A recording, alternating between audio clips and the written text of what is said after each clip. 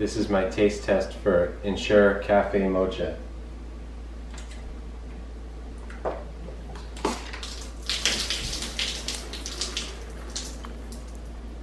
Sucks.